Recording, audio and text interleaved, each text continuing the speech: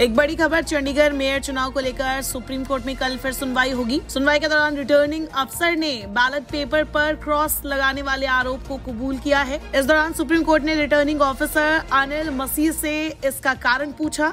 Returning officer ने जवाब दिया प्रत्याशी बैलेट पेपर लेकर फाड़ कर भाग रहे थे।